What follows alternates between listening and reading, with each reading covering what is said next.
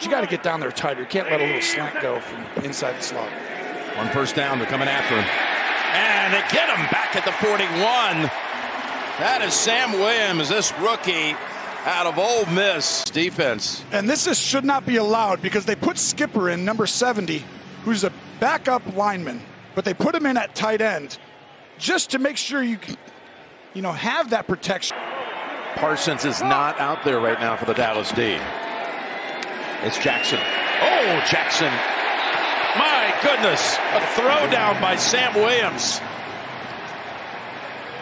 The Hulk to tell me what happened here.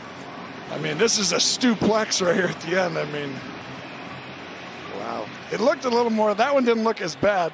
But right here, whistles down, and then it's like, whew. No Swift either. Yeah, their weapons will come back. Oh, there's the lost ball, and it's Williams who just took it right out of his hands. And then he lost the football, recovered by Armstrong. Dorance Armstrong ends up with it. Will McClay, and he just grabs it from him. Thank you. Turns and runs, and Well, Dan Quinn and his defense, down. they, they just didn't come up with the big snaps.